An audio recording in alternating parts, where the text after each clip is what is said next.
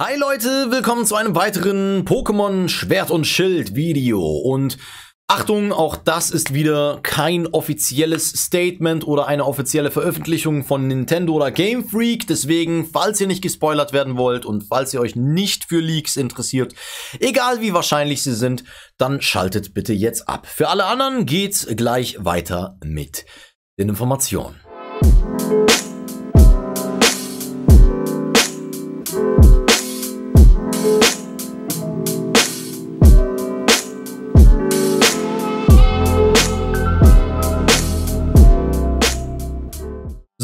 Ihr wissbegierigen Schlawiner. Du willst also wissen, was es Neues gibt? Tja, ich auch. Und ich bin gestern, äh, beziehungsweise heute, wiedergekommen, denn ich habe eineinhalb Wochen kein Internet gehabt. Jetzt bin ich wieder da mit einer stabilen, richtig nice Internetleitung und äh, neuer Qualität auf dem Kanal. Ihr seht's bereits. Und ähm, ja, heute besprechen wir also Leaks, die von derselben Quelle stammen, meine, meines Wissens nach zumindest, wie die Leaks, die wir davor besprochen haben, sind also relativ vertrauenswürdig und sehr, sehr wahrscheinlich, meiner Meinung nach zumindest nur. Und deswegen behandeln wir sie auch, denn sonst würde ich sie einfach ignorieren. So, aber jetzt lasst uns mal uns das Ganze ansehen. Äh, was haben wir denn hier? Hello, I am back. I have decided to post a part 2 today because there is no point in waiting to post it. I also contained my source... Uh, contacted my service again and they did clear some stuff up.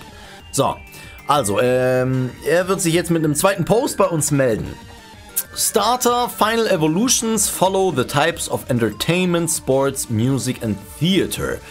Okay, also wir haben ähm, die letzten Entwicklungsstufen der Starter-Pokémon, die also die Themen Sport, Musik und Theater haben werden. So, also wir haben äh, Chimpep, wir haben Hoplo und wir haben Memeon. Ähm, und scheinbar soll eins davon ein Sportler sein, der andere ein Musiker und der andere ein, ein Schauspieler oder ja, einer, der halt im Theater spielt. Ich hätte jetzt keine wirklich logische Erklärung, wie ich das ähm, irgendwie koordinieren soll. Ich meine, ja, okay, Hoplo hat so ein Pflaster auf der Nase und rennt herum. Das deutet darauf hin, ne? Er heißt Score Bunny. Das deutet schon sehr auf Sport hin. Allerdings die anderen beiden, I don't know. Ich meine, wer soll Musik, Thema Musik sein? Ist es Memeon oder vielleicht doch Chimpep? Und wer soll ähm, das Theater hier, ne? Wer, wer soll das Theater repräsentieren oder symbolisieren? Ich würde ja sagen, ich kann mir beides vorstellen. Chimpep ist ein Affe. Es gibt viele Affen, die sich mit Lauten verständigen und die singen. Obwohl der Junge mir... Oh, wobei... Wobei... Chimpep hat mit einem Stecken auf einen Stein geklopft.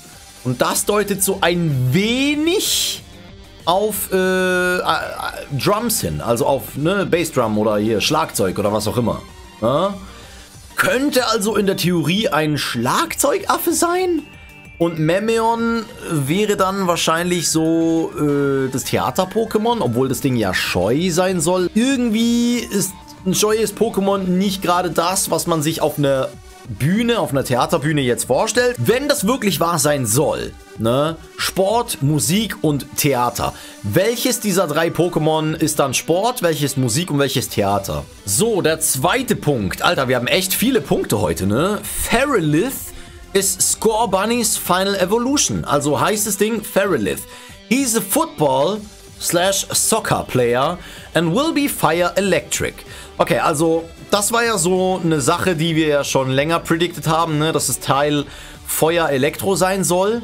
Ähm, äh, meine Dingens mit dem Powerpuff Girls, mein, mein Gegenvorschlag wäre noch gewesen Feuer Eis, wobei das schon sehr abwegig wäre. Feuer Elektro ist das, was die meisten äh, gedacht haben. Auch meine erste Intuition, was ich gedacht habe, als ich den Trailer gesehen habe und als ich mir das Artwork angesehen habe. Auf jeden Fall, Feralith ist der Name des letzten, der letzten Entwicklung von Score Bunny, also von Hoplo, und soll der Fußballspieler sein. Dann hätten wir ja schon mal geklärt, wer was ist.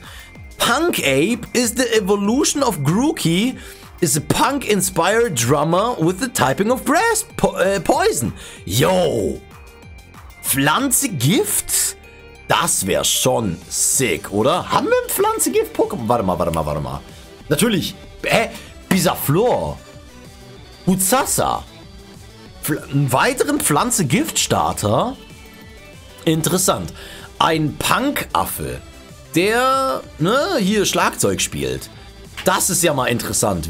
Und warum Gift? Warum der Gift-Typ? Warum dann nicht der Steintyp? Oder irgendwie... Das ist ja mal echt äh, crazy, weil mit dem Steintypen hätte es keine Feuerschwäche.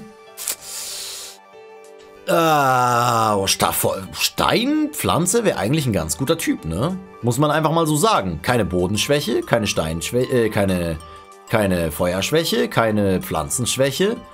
Alter, das ist echt ein guter Typ. Das ist ein echt crazy Typ. Und wenn das Ding schnell ist, countert es sogar Eis-Pokémon, die sehr effektiv treffen. Also das wäre echt ein cooler Typ, würde ich mir wünschen. Aber scheinbar ist es ähm, Pflanze Poison oder Pflanze Gift. Äh, und somit liegen wir auch beim zweiten, oder liege ich auch beim zweiten Ding ins richtig, wenn ich sage, ja, das Teil müsste dann ein äh, Musiker sein. Thesphibian is the evolution of Sobble and is a water ghost type. Okay, Wassergeist haben ebenfalls sehr, sehr viele predicted. Also Feuer, Elektro haben viele predicted und Wassergeist haben viele predicted. Was meiner Meinung nach niemand predicted oder meines Wissens niemand predicted hat, ist Pflanze äh, äh, hier, Poison. Aber in Ordnung. Ähm, ja, der Ghost-Type zusammen mit Wasser.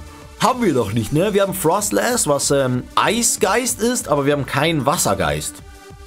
Finde ich aber mega cool. Finde ich eine mega coole Kombi. Hat trotzdem sehr viele Schwächen. Ne? Hat sehr viele Schwächen. Cancelt keine. Also, äh, Pflanze Stein cancelt gegenseitig seine Schwächen. Ne? Das Ding überhaupt nicht. Das hat keine gemeinsamen. Das hat äh, super viele Schwächen, die, ne? So, dann hättest du eine Unlichtschwäche, du hast eine Elektroschwäche, du hast eine Pflanzenschwäche, du hättest eine Geistschwäche. Wird also relativ schwierig werden. Das ist eine Pflanzenschwäche. Alright, dann hätten wir There is a new, new form of competing where it's like soccer but not. This will be like the big gimmick, innovation. Ah, okay, also es geht um Fußball, aber dann es ist wie Fußball, aber nicht wie Fußball. Das ist das neueste Gimmick. Wir wissen ja, es gab ja auch in den vorherigen Spielen immer mal wieder so ein eine Arena. Ich sage jetzt mal, glaube ich, ich glaube die fünfte Gen war so. Da gab es den Pokeathlon. Da war es ja ähnlich, da konnte man auch schon Fußball spielen und Hürdenrennen und so ein Kram. Und es gibt ja in jeder Gen irgendwie so ein kleines Feature. Und scheinbar ist das das neue Ding. Ich muss ganz ehrlich sagen, es hört sich einigermaßen plausibel an, weil der Starter ist ein Fußballspieler. Und die Arenen sehen für mich aus wie Fußballstadien. Die Arenen in dieser Gen sehen für mich nicht aus wie Arenen, die sonst aussehen wie Arenen im Pokémon, sondern sie sehen aus wie Fußballstadien. Äh, man sieht ja sogar im Trailer, ähm, dass man, ich würde mal sagen, in, in einem Stadion steht und man hat ja ein Trikot an. Äh, ich werde euch ganz kurz mal den Trailer zeigen, beziehungsweise die Stelle des Trailers. Hier haben wir den Trailer. So, und jetzt gehen wir einfach mal zu der Stelle, die ich meine. So, hier haben wir nochmal die Starter. Äh, Moment, das war glaube ich vorher, oder? War das vorher? So, hier sieht man schon mal die Arena von draußen. Also das sieht für mich wie ein WM, WM oder EM-Stadion aus, ne? Was um die EM oder WM-Zeit ähm, aufgebaut wird, um, um diese Turniere abzuhalten. Äh, Moment, hier, ne? Wir sehen auch hier, wenn wir drin sind, wir sehen einen grünen Rasen. Also das spricht schon mal dafür. Obwohl wir quasi in einer Arena kämpfen. Und es sieht halt auch aus wie ein Stadion. Ne? Ist halt, ist halt relativ obvious. Und das hier, das ist die Szene, die ich meine.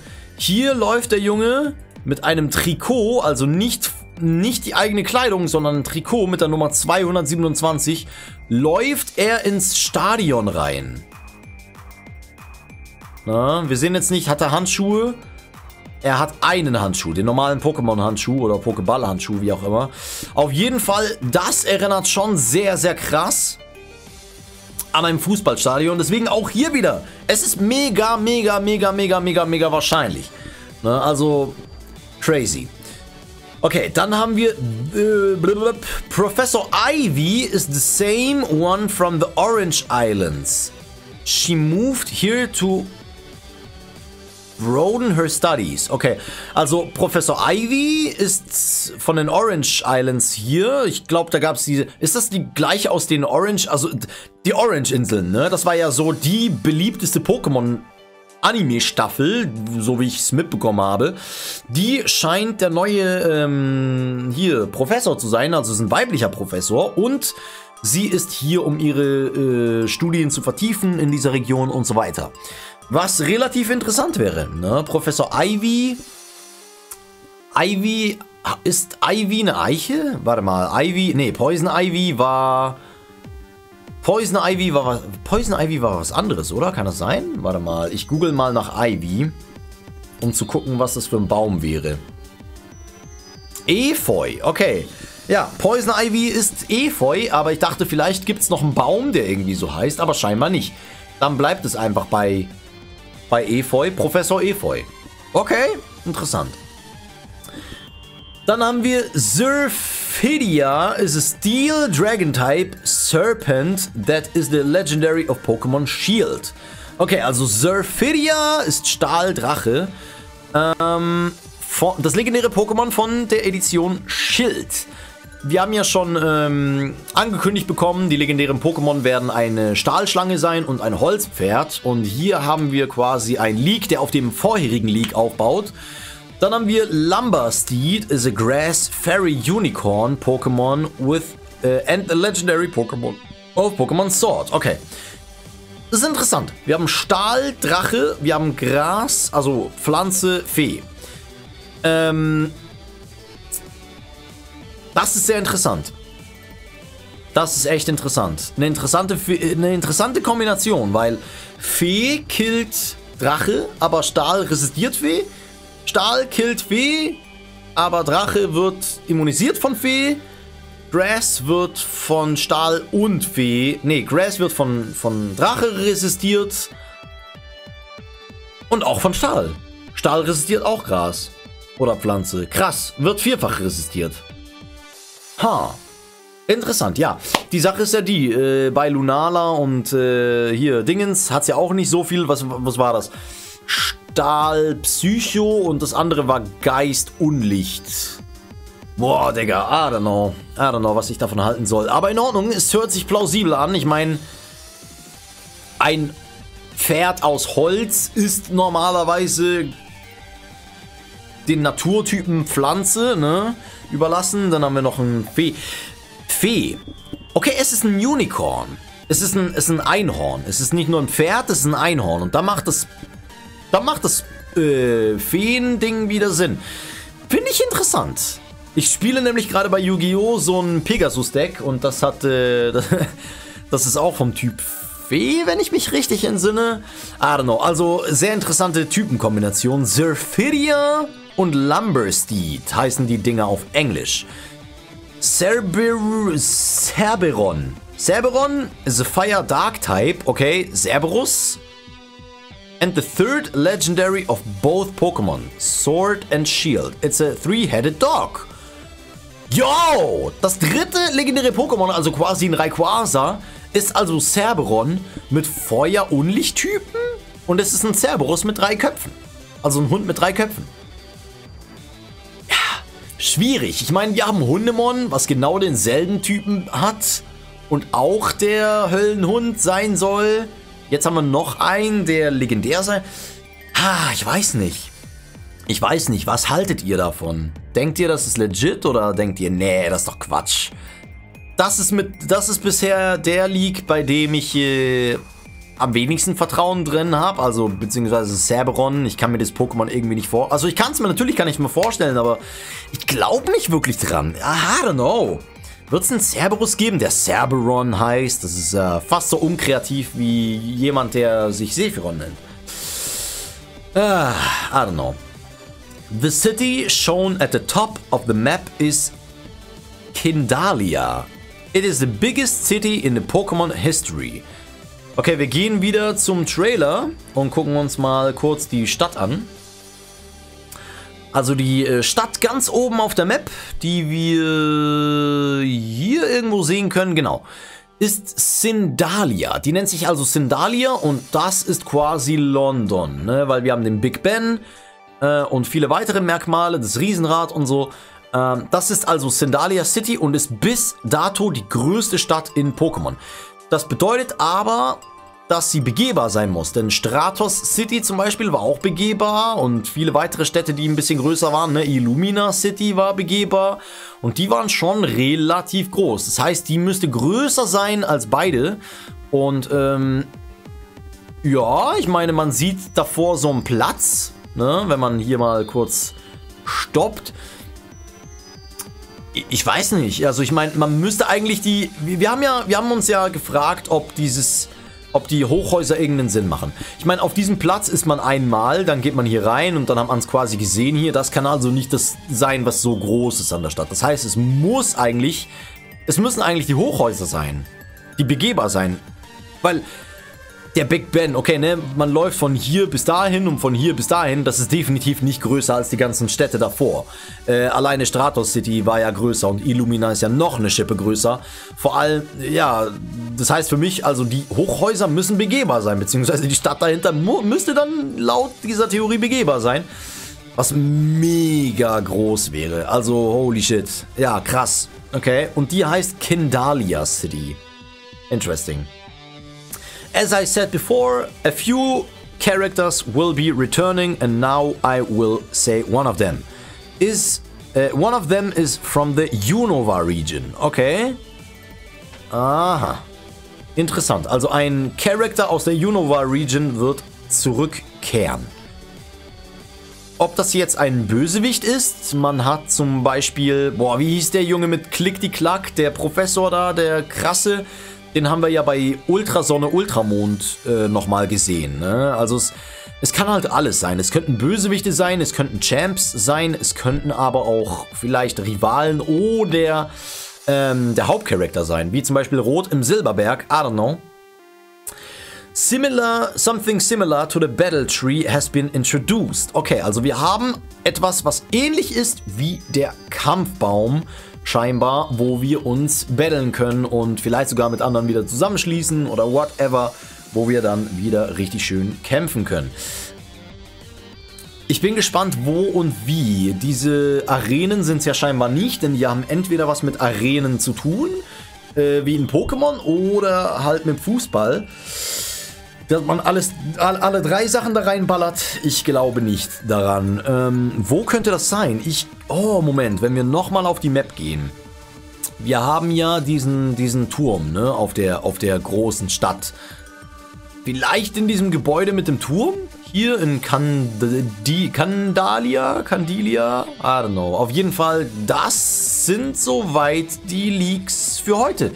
Ja, ich glaube, wir machen tatsächlich ein Part 2. Ich hätte nicht gedacht, dass wir so lange an diesem einen äh, Video hier dranhängen. Auf jeden Fall, ich weiß nicht, was haltet ihr von diesen Leaks, Freunde? Denkt ihr, die, die sind legit? Ich meine, sie sind von derselben äh, äh, Source. Sie sind einigermaßen ne, begründet und ich finde, sie sind gar nicht mal so abwegig. Ich finde, gerade die Sachen mit den Startern machen Sinn und äh, das mit dem Fußball ebenfalls, wobei das einfach aus dem jetzigen Trailer gesogen werden konnte. Ne? Man hat das Fußballstadion quasi das Vermeintliche gesehen und konnte dann natürlich sich quasi die Geschichten weiterhin äh, aufbauen oder zusammenreimen.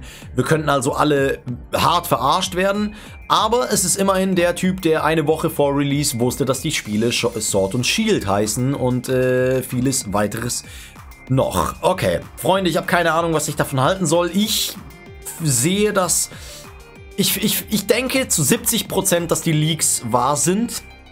Oder die Theorien, die dieser Herr hier äh, spinnt.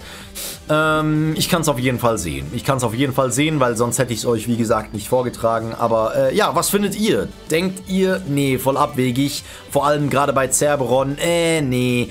Hört sich für mich nach Müll an oder nach Bullshit. Ja, I don't know.